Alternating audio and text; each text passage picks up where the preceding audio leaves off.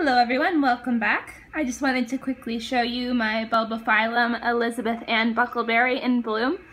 This spike really surprised me. I did not expect this plant to bloom, especially not so quickly. It's not really big, it's just this one right here.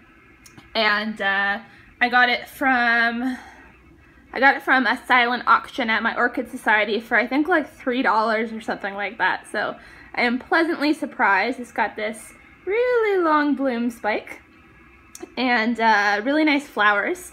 There has been really low humidity in my apartment because of the winter because I've got the heater on so much. So two of the buds uh, did blast and fall off. They were just over here.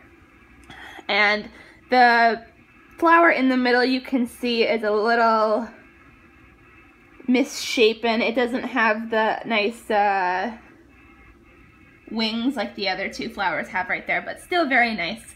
I haven't been able to detect a scent with this orchid.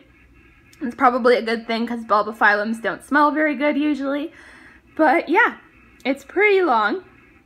I don't really have, or I haven't had a bulbophyllum like this bloom before, one of the really long ones, so very nice to see.